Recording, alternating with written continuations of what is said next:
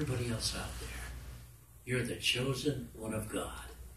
And you are destined, destined for eternity with Him. And not like the rest of the world. Because what we're going to read about now and what we're going to walk into is what's going to happen to the rest of the world. And every once in a while, I'll turn on the news and you catch the pictures of what's going on in in Syria or Iraq or wherever. And, and some of those places Esther and I have visited, and especially in Iraq, where you had a lot of students came to our school in, in Beirut. And we they came from Christian communities in Iraq, and we hear the words Kirkuk or Mosul, and we think of the students that used to sit in our classroom, and that's where they came from. Are they alive? I don't know. I don't know. But I know this much. I know this much. Those that die like that live eternally. Hallelujah. They are just as much chosen for God's kingdom as you and I are. And we don't go through the hell they're going through, but we go through our own hell. And the devil does everything he can to get you to stumble, fall, make mistakes, err, sin, do whatever, because he wants company in hell. God is saying, No, you're my chosen generation. You're mine. I have chosen you.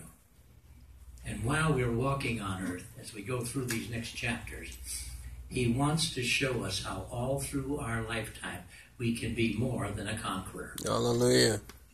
More than a conqueror. Because all the way through this, you're going to discover the fact that there's conflict all the time. But God is saying to you, you know, you're higher than that.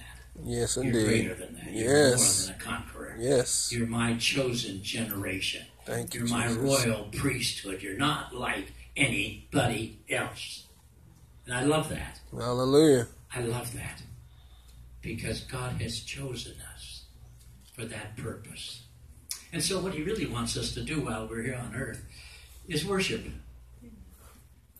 To worship Him. How do you worship Him? Just worship Him. You can worship Him while you're washing dishes, you can worship Him while you're doing anything else. You can do all kinds of things to worship Him. And all He wants is for you to worship Him. Get off, get past everything else that's going on in this world. Yes. Get your focus on Him and worship Him. Because it's only there that you'll find peace.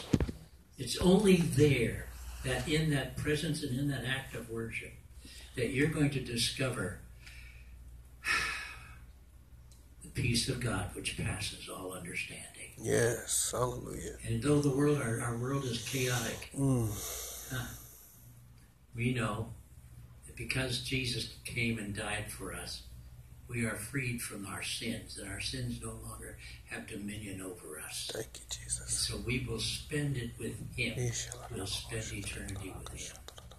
But He's given us this so that we can see how every day He's programmed us to win. Every day He wants you to be a winner. Thank you. Every day. Now, in that Chicago Cubs game, the guy that made it was the guy who he hit the home run at the end. And that was the winning run, and, and everybody went crazy. And you would think that he should live forever because he hit a home run that won the World Series. Jesus hit the home run at the, at the cross. Amen. Hallelujah. World Series. Amen. Amen. Yes. Woo. He won over the works of hell. All of that he's defeated. Thank you. And there's nothing that can defeat you if you'll get caught up in the environment of worship. If you'll worship him, you'll discover, you will discover there, hallelujah, that you are destined, destined for eternity with him. Hallelujah. You got to think about that. Not just once in a while, but keep that thought sort of running in your head.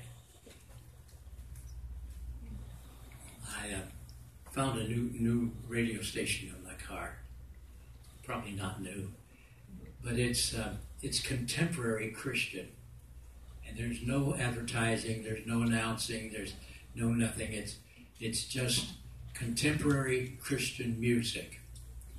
Now, it's not the kind that I listen to all the time or I've ever listened to continuously, but it's interesting because it tells me that I can make it in the morning.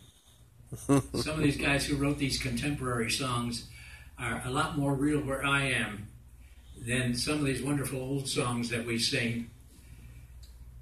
Because sometimes we just need to know that where I am, I win. Amen.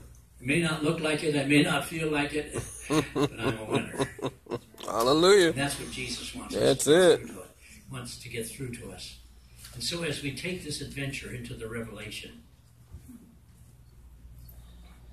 I want you to look at it first of all as a disclosure of Jesus Christ. Hallelujah. You're going to see something about Jesus all the way through this book.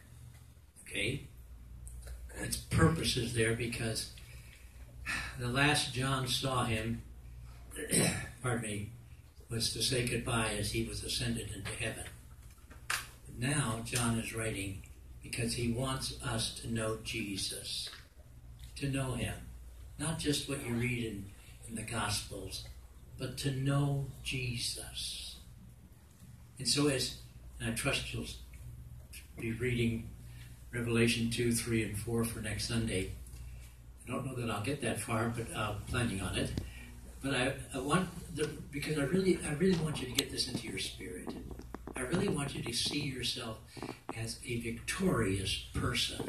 Hallelujah. God has ordained that you're the winner, not a loser. Hallelujah. Not a loser. Whatever else is going on in our world, the church is not a loser. It's not a loser. You know, next Sunday we'll be going over some addendum notes and stuff. And if we listen to what the Supreme Court in Washington says, it says that the church will stop existing in America. Okay? But if you listen to that, you're t- going to think those guys know more than God. God could care less whether we meet in a building like this on Sunday, or we meet in a house, or we meet in an open field, Amen. or wherever we meet to worship Him. As long as we meet. And that's something that the devil can't take away from us, all right? He, he might take away the rights of a building or whatever. that- That's beside the point. That's beside the point. He can't take the passion of worship away from us. Thank you, Jesus. All right. Hallelujah. And whatever the circumstances, you know, when, when, when I, when Sandy and I were starting to work on this addendum and we were contacting the, the legal departments and so on and reading all these things, you know, you could get very, very disappointed and say, I quit. Hmm. Instead, you get it up and say, "Oh no, devil, you lost. We win." Amen. I don't care What's going on in Washington? That's only five men or five people who think they're higher than God. And they can Hallelujah. anything they want. Hallelujah. think. But God is in charge, not those Yes. five people. That's right. And we form our opinions on God, and that's what I want you to see as we walk through the revelation here. God, the, the, the whole purpose of that is so you get a better a picture of who Jesus really is and what he came to do Woo. for you and what he came to do yes. for our world. And, and though the, the weapon of the warfare, nothing the devil can come up with can stop the church. Thank you, Jesus. Hallelujah. It can't stop the church. There'll Thank you for our high priest. Hallelujah. when the trumpet of God sounds, and the dead in Christ rise, and we which are alive and remain shall be caught up to meet them in the air. Hallelujah. Hallelujah. Hallelujah. Hallelujah. Yes, Lord. You know, Esther's sister in law went to be with Jesus this past week, Mm. and uh, she's been a part of the family 75 years, right? I, I don't remember.